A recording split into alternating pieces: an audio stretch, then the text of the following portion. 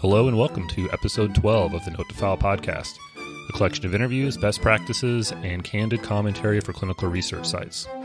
Our guest today is Jeffrey Smyth. He's the VP and COO for MOORE Clinical Research, uh, located in Tampa, Florida.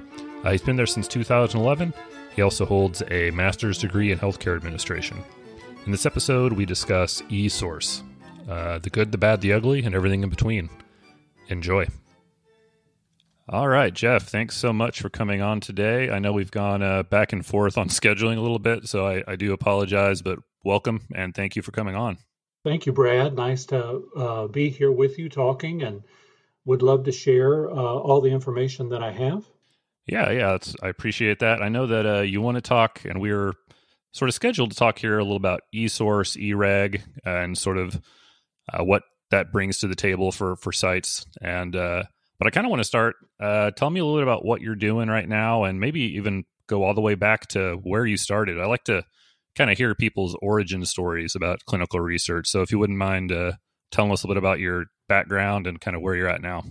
Okay, like you know, many other people have said, I didn't start in research. I just landed in research about nine years ago.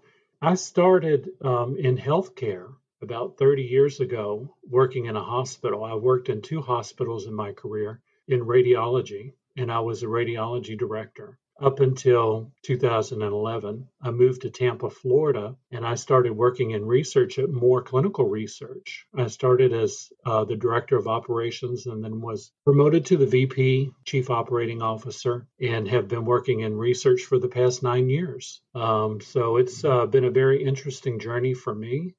And um, I, what I like about it is I bring all of the operational ideas and initiatives that we had in the hospital environment, and I try and apply them to the research environment. And a lot of them can be uh, very easily. So, in keeping with you know the electronic initiatives that are out there in the industry now, especially you know everybody pays attention to it once a pandemic hits but we were actually looking at many of these before COVID 19. So, um, and actually, to rewind 10 years ago, before I left um, the hospital I was working at, we had a lot of electronic paperless initiatives in progress, uh, electronic medical record system, and all the other things that go along with that in the hospital environment. So, and I know I've mentioned this to you before, once I started in working in research, it was like going back in time and really not using much uh, software or electronic devices or anything because everything was on paper. And it was um, it was a little disappointing but i got used to it. And um, what i really have not liked about paper for so long is it costs money. It costs sites extra money to use paper. That's you know one of the things that i've been thinking about the last nine years. And luckily um, I would say about seven years ago, we um, looked into uh, using a CTMS. Sure. And I really pushed our site in that direction. We were at that time only using software to book appointments, everything else was on paper. And uh, I wanted us to be able to use the subject's information. I had been reading about databases and how important they were in clinical research and we had information in a software system for appointments and i wanted to put that into a larger scale platform so that as we were getting busier and busier with trials that we were going to build this database that was going to help us recruit patients in the future. So that's where all of this really started. And uh, so we landed with real-time ctms and way back and we've been with them since and we've you know, we are very happy customers of theirs. And now we're using all of their platforms, everything that they offer, we are using them. And uh, we are trying to gain efficiencies with everything that these software items can provide to a site. So I'm a big proponent of all of this stuff. And, you know, what's funny is along the way, along your journey, there are so many people in research and you know sponsors cros monitors that are so hesitant to get away from paper and so hesitant for things to be you know stored in a system and maintained electronically. We've had to overcome a lot of that fear and uh, talk through uh, these things and show people how these things can work and how we meet the regulation and how they're HIPAA compliant and and that sort of thing. So it's it's truly been a journey, but uh, we are very happy with where we are now. Sure, and that's something I, I'm particularly interested in hearing about. So you know, we used real time at our organization previously. We we switched over to using CRIO, which I, I really like, and I like the eSource system. And I, I always consider myself, you know, I want to be ahead and be doing the next thing, which is, I think everyone using eSource and whatnot. And mm-hmm. I've been hesitant just because of my fear of slow adoption from the sponsor.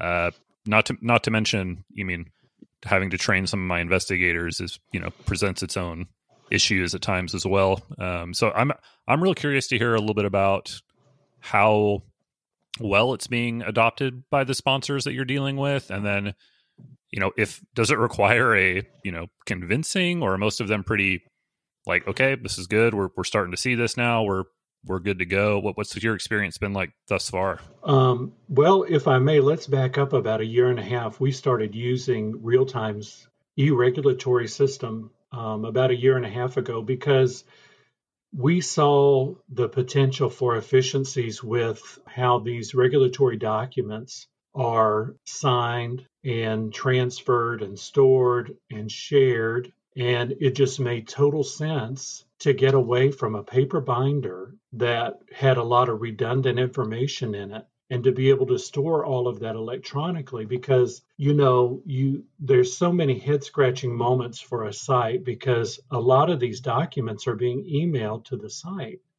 but yet we were printing them and putting them in a paper binder so it made no sense whatsoever. So right. Just adding another step to the process for for no good reason. Absolutely adding another step. Another side note we have always had a closed shared network at our company. And we have an IT service. They created a shared network and we were storing a lot of documents on our closed network. And it's now become our redundancy because we don't put anything directly into the CTMS. We upload it to our shared network and then we put it into the CTMS and uh, it's secure and we view that as our redundant system for the CTMS. That's just what's worked best for us. So is that a uh, is that a dedicated position or, or is that just done by the same coordinator who who uploads it? Just for my own interest is how do you structure that? It's really it depends on what the documents are and who really is the owner of that document. It could be the director it could be the coordinator. It really depends on their job function but everybody essentially who is on the study they have access to that. And they you know if they receive the document they can save it and then upload it. So gotcha. I think it that depends on your organization and what and what works best for you. Sure sure. So yeah um, using ereg was the first step. And you know there were conversations about that. You know obviously the first thing is you have to show them you know your your records and your sops for using it the you know the statements that you know it's 21 CFR Part 11 compliant, it's HIPAA compliant, it's all of these things so that they feel comfortable about it. You, what I love about real time is it is so intuitive. It is so easy for a monitor, an inspector, anybody to log in and to review the information. It's very intuitive, step by step kind of process to where it doesn't take a lot of training you know, in order to use the system. It's it's not very difficult at all. That's what we like. Sure. But yeah, we had to have some robust communication with some uh, partners, and but we didn't have anybody really push back on us. And I think eReg was, you know, we were joining in eReg at a time when a, a lot of other sites were doing that as well, and so we were kind of doing it at the right time. So we've been really successful with that this year, uh, Real Time um, released their eSource platform. We were we've been thinking about it, looking into it, and then really what promoted that was COVID nineteen and the idea that you know monitors needed remote monitoring and we needed a secure way of doing that instead of just emailing documents back and forth. So we started using that, and uh, it has been we we believe we have been very successful with that so far. Now we're only in our second month of using the system, but um, the investigators like it. We have iPads, and some of them like to use an iPad for data entry. Some of them would rather have a laptop and use it. Uh, what we like about it so far is we can see where it's going to reduce a lot of queries. Sure. It's going to reduce a lot of minor protocol deviations uh, because of um, you know writing or whatever was written on the paper was written incorrectly or you know human error some sort of misspelling of a word or somebody signs in the wrong place or you know anything that can happen in source documents. And we can see where it brings a lot of integrity to the data because the data is so much cleaner. And the way that you build the source it becomes very intuitive for the person who is capturing the source to enter those data points correctly at the time that the patient is there contemporaneously it's it really i think drives value in the data that we're providing to the sponsor Sure. Yeah, no, that's a fair point. Do you have uh, somebody on your team or on your staff that builds the source into real time, or is that a service that they offer as a CTMS? They pro- they provide that service and they'll do that too you know for you i believe with new customers they will you know do a build or two for you and uh, until you're comfortable doing that Sure. um, or we have a site manager who really is our lead coordinator who is also you know our compliance person who is uh, it's her duty to you know build source but the crcs that she works with they do that as well.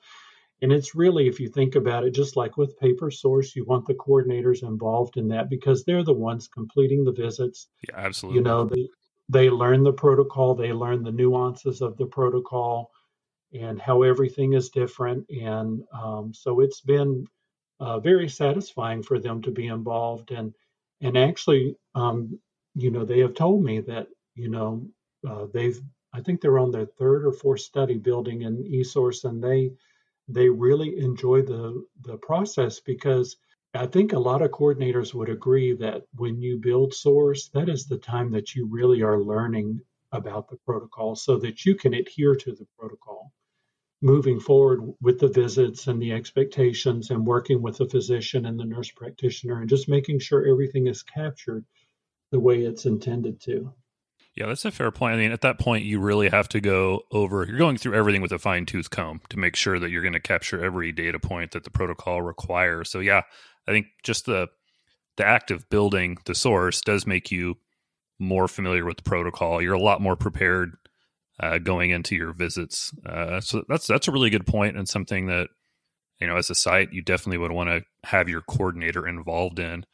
Uh, and to go even backwards a little more, is this something that you guys have figured out a way to offset the cost through amendments on your budgets with sponsors, or have you guys kind of broached that issue yet? I think there's a few things about that that you know are obviously they're going to be ongoing for us as we you know continue down uh, our pipeline of work and as we negotiate new contracts it's definitely going to be an item on the table um, because there's a few things to consider especially from the cro standpoint you know and, and especially now for a lot of sites who are having remote monitoring visits with esource you can argue that monitor visits can be reduced. You know, I'm I'm sure no one is comfortable with not having any monitor visits, but what we have suggested to a few companies that we're working with is maybe just have, you know, if you want to have an SIV WebEx, you the first monitoring visit after the first few subjects are enrolled, maybe they come on site and they speak with the um, investigator. They look at the source, they look at the drug, they do those things, those formalities that they need to do. And then maybe several of the interim monitoring visits in between are done remotely. And then maybe they come back on site at closeout and, you know, they package the drug and they do all the other formalities that they need to do. And they do it that way. So if you're reducing the number of monitoring visits, you're reducing your travel costs. And so if you're reducing your travel costs, why not partner with the site in order to to make that happen? Yeah, no, that's that's another great point. Yeah, you're technically, yeah, you're saving them money in the long. I mean, not in the long run. In immediately, you're saving them money by saving on travel for their their monitors. I mean, and let's face it, if you work at a site and you're doing remote monitoring visits right now without eSource, it's terrible. Yes, it's awful to have to redact redact so much source facts or not facts, but hopefully not facts, but in some cases, I scan everything. It's awful and we're having to do some of that now so i i can understand it saves everybody time and money but that, that's a fair point. I never considered the idea of uh potentially being able to get the cro to back off of their monitoring schedule a little bit but it would make sense and they could do it anytime it's all always there for them to go in and start doing source data verification if if you're granting them access right and we we've been promoting this since we were on ereg a year and a half ago the documents are there. You can you can access them anytime before your visit or whenever you would like to, you know, and ongoing throughout the trial. You know, you don't have to come here, you don't have to wait on an email.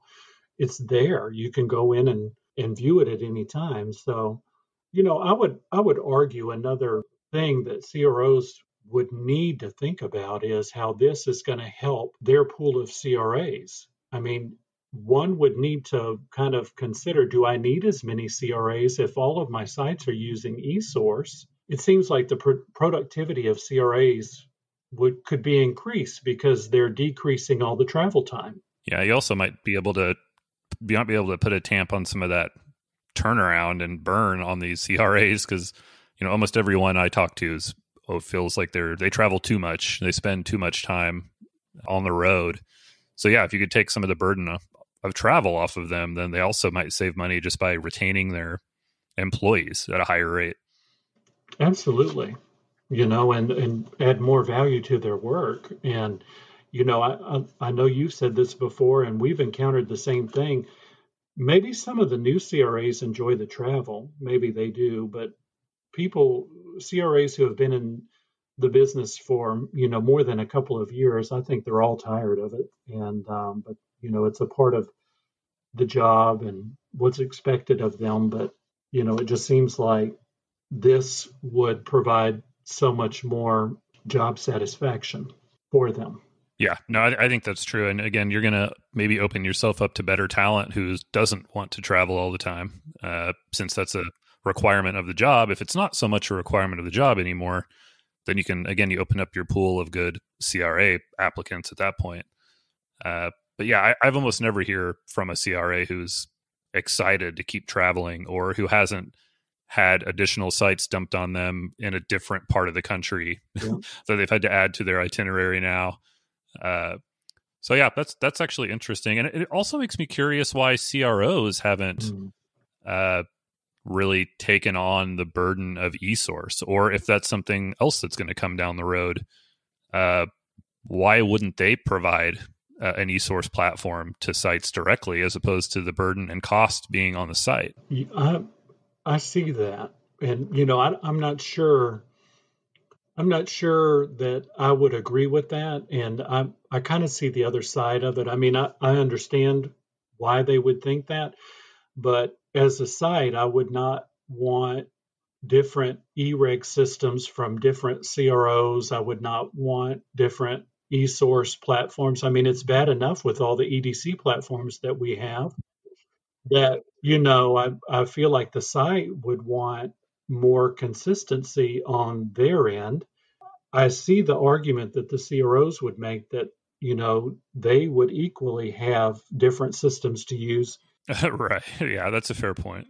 I know one CRO that we work very closely with. There, we're the first site that's using eSource they have other sites that use eReg, but we're the first one that's been on eSource. So, you know, they've been very accommodating, they've been very gracious and and everything. But you know, now that you say that, I wonder how they're going to feel when all of their sites are on eSource and using different vendors and that sort of thing.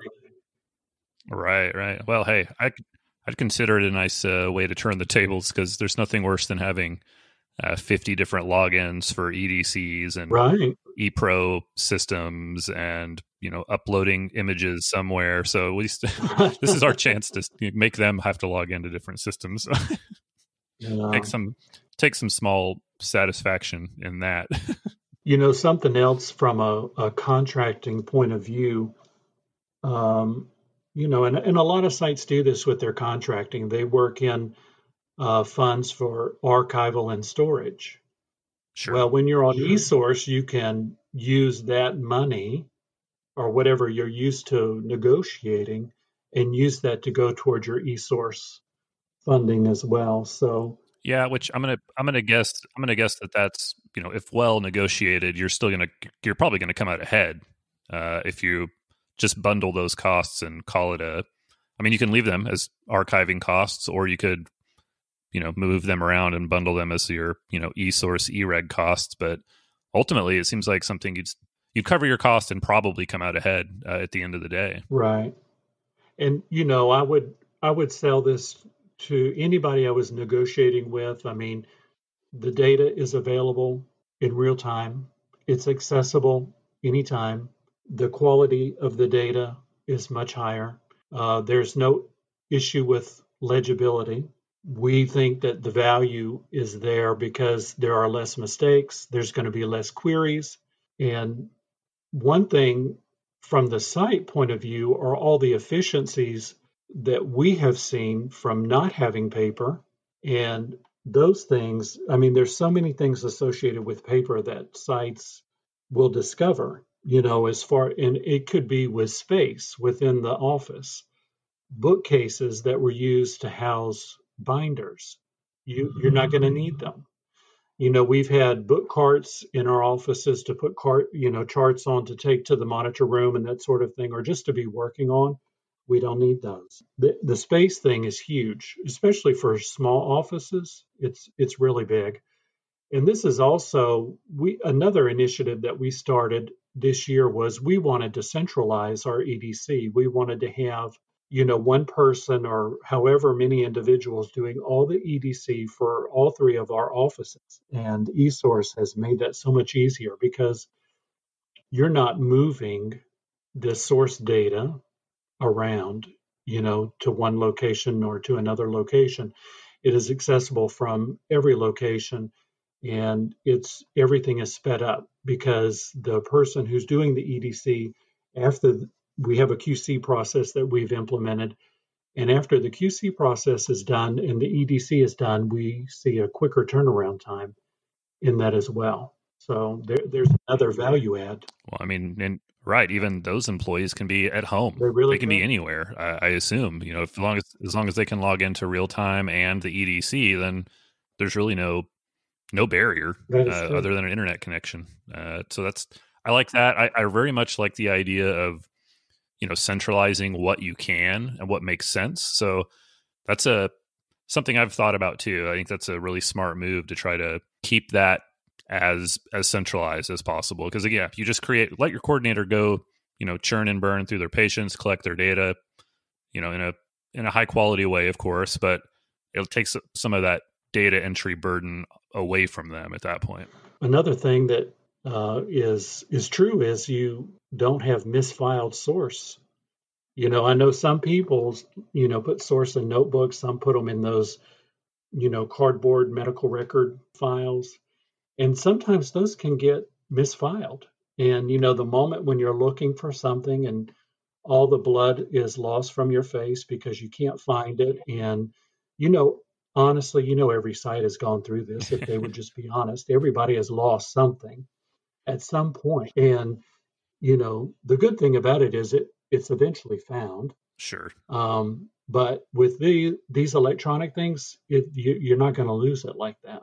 That's just not going to happen. So all the time and energy placed into that. Yeah, that's a fair point. Again, yeah, a lot of the error possibility of error just yeah is taken away at that point because yeah it's yeah you're right we've uh you know there's a piece of paper stuck to the back of another piece of paper that's filed somewhere else and that's that's not even a possibility anymore. Mm-hmm. Yeah, we would call that a code red, you know, and everybody everybody would stop what they were doing and tear the office apart and until it was located. so, how about the uh, SOP process for, uh, you know, implementing these systems? Did you find any? Mm-hmm. Uh, I assume that's a pretty much like everything else in clinical research. So, sort of an ongoing, evolving process as you really figure out. You know, you've got an idea of how things work, and then uh, then you figure out how things really work, which is a uh, kind of how you know same way it works when you get a new protocol. Uh, what was the SOP development? Uh, how has that process been, or did you guys use a uh, any kind of outside help with that, or did real time help provide some guidance? Maybe uh, real time was uh, very helpful. They did provide the information we needed for um, the system and how the system, you know, is set up, designed, secure, verified, and that sort of thing. They provided us with a lot of really good documentation. Uh, we've we've had some uh, what we believe to be some really good SOPs uh, for quite some time now, and uh, knowing we had gone through the eReg implementation and now the eSource implementation, we we knew that this was just going to be a process for our SOPs and that we were just going to need to update them as we went along. It wasn't going to be possible to not update them because as we were going through the process, the, the CROs and the sponsors are wanting to see our SOPs and how we're, you know, delivering this, how we're complying and all of this. So it's just, um, you know, it's a work in progress. And we've updated a couple of them a few times now. And um, we just know that with this that we're going to continue to see some process change within our office and we're going to have to update that as we move along so it's fluid but uh, we, we keep that up and center and ready uh, because we want the sponsors and the CROs to feel good about what we're doing. And we're very, sure, sure. you know, we're one of the sites, we're very transparent. If they want to see our SOPs, we send them we we want them to trust us and to feel good about what we're doing here. Yeah, and that's uh, I think that will definitely serve you best in the long run. You know, to be to be that transparent and to be that fluid. I mean, I think it's uh, one of the benefits of not necessarily working within a large large institution or a very bureaucratic institution as you know oftentimes hospitals and universities can be i mean a lot of those sites that i know they're still working on excel spreadsheets rather than e anything. You know, they're still hand entering uh, any data into Excel spreadsheets. So, you know, it really gives you the opportunity to to evolve, to be progressive, and to sort of make any changes and correct course as you go. So I I love that. I think if you're going to successfully implement a system like this, you you almost have to be that way. Uh, and then I'm, lastly, I'm sort of interested to know about the training process for your staff and for your investigators, even. So, has that you know provided any challenges, or is it? Did you find that to be a relatively intuitive process for your for your staff? You know, I, I think you know we're like most other sites and companies, and as far as people go with software and electronics, and you know, younger people catch on to it so much more easily. We have used computers and soft different softwares for other functions for a long time now. So I feel like for the most part, 90% of the staff caught on to it immediately. Uh, there is some training, but it's basic and it's you know very easily attained. Some of the investigators, you know, the the staff, our approach is we just work with them. The coordinators work with them, even while they're seeing patients. You know, they have the iPad or the laptop in there. They help them enter data and transcribe for them and uh, just provide as much support uh, with them as they can. But you know, our investigators are you know they're computer literate. They seem to adapt. Uh, I would say better than I thought that they would. A couple of them really grabbed hold of it and really ran with it. So we're we've been very happy with everybody's performance on the system so far. Sure. No, that's good to hear. And I know that can be a I mean, just depending on what your you know staff and investigators look like that can could present some challenges. So I'm glad to hear it's gone gone smoothly for you. I know we my previous job we did implement some eReg uh, towards the end of my time there a couple years back, and uh, I, I, was concerned about adoption and training uh, across the the system. So mm-hmm. Uh, I guess you guys are are you guys a series of standalone sites or more than one standalone site? We're a, a multi-specialty site. We we have three sites in the Tampa area, and um, we operate all three sites. We have uh, three MDs, one nurse practitioner, and uh, we have six coordinators, and uh, we have a, a, business office staff, which includes a, a couple of dedicated recruiters. Um, so we, you know, I, we're a high functioning site, excellent staff. So, but yeah, sure, you kind of know what you've got there. So that that's, I think the point I was trying to make too is that you know you've got your arms around your staff and you you kind of know each each person's level of of capability, which I think is again there's a learning curve. You know, there's there's plenty of people who have issues just with the EDCs that you know we use now. So that's a again just an interesting little aspect of the the eSource and e- eReg that I'm, I'm I'm always just looking to see how well adopted and how well how intuitive it is for people to use. So it's good to hear that you guys have have taken to it pretty easily. Right. I would say that um, you know we we have about 20 employees overall. I mean, we see ourselves as a medium sized site. Some other people think we're larger, you know, but I guess it's all relative to what you're doing or how many studies sure, you're doing. Sure. But um, you know, I feel like in this day and time, uh, everybody wants, you know, to be as efficient and as effective in their jobs as they can be. Our coordinators have been nothing but supportive in moving in this direction, and they've really wrapped their arms around this, and um, they are happy uh, with the process. They are they don't want to do anything with paper. We have a couple of studies, obviously, that are still on paper because we're not fully on eSource. We just started a couple of months ago, so we we still have to move through that process and there's there's a couple that are still on paper, but you know they they just enjoy working with the software so much. So from an employer standpoint, I'm very happy with uh, their satisfaction. That, that's awesome. I say it's good to have uh, everybody on the same page. I personally uh, imagine a world with no more binders and uh, no more sticky notes. So that's uh, it's a very comforting thought, and I hope that we that we all get there. Right. Yeah, I hope so too. I mean, there's there's so many things that you know are so beneficial for sites, and you know we understand it can be scary, and there is a an element of uncertainty for some people. But like us, we you know we did our research, we did a really good planning process, and you know at some point you just have to jump into it and start doing it. And any software system is only as good as you use it. And you really got to jump in and start using it so that you can see the full potential that uh, these things have for you and how it can affect your business.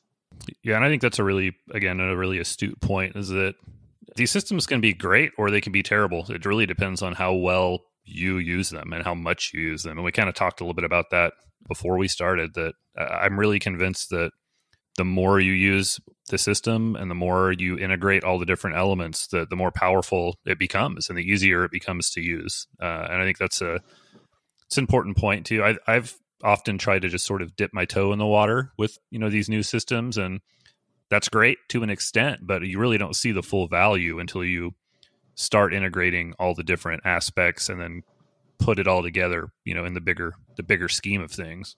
Absolutely. And, you know, two other components real time has is a reloadable debit card and um, a text feature that you can text and communicate with subjects directly uh, through the CTMS.